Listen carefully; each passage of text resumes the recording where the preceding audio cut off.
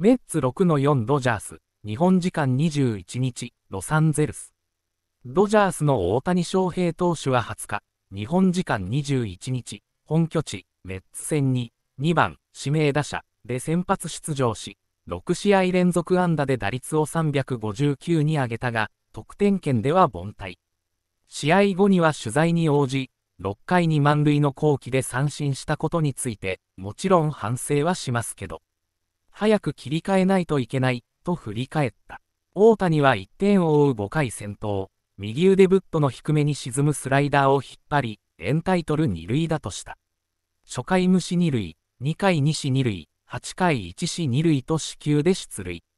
1試合3死球、4出塁は今季初めて、18試合連続出塁となった。チームは先発のストーンが4回途中5死球4安打2失点で降板。3番手の元広島ブレーシアは同点の6回にマルテに痛恨の勝ち越しスリーランを被弾した。打線は1点差に迫った6回西満塁、8回1死満塁のチャンスを生かせず。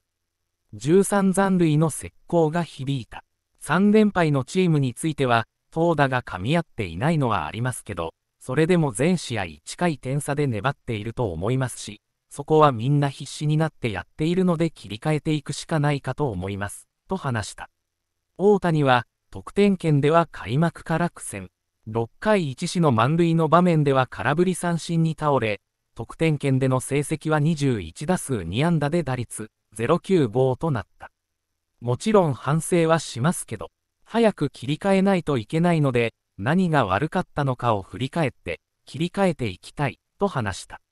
アプローチについては変えないようにするのが変えたこと。全打席、どんな状況でも変えずにいければなと思います、と説明した。